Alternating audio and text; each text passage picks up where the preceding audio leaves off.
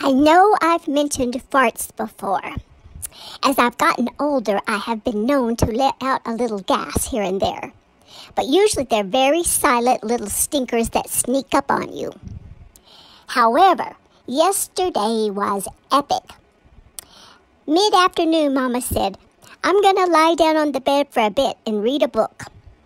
So I, of course, jumped myself up on the bed and got all snuggled in for my own nap.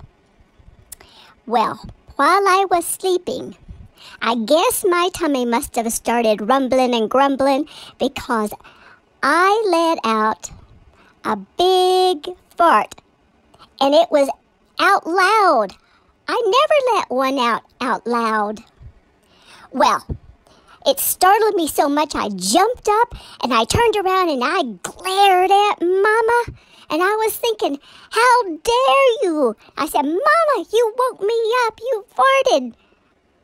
Mama said, Don't be giving me that stink eye, Gabi. You farted and woke yourself up I was speechless. I was shocked. That fart was so loud it almost blew me off the bed.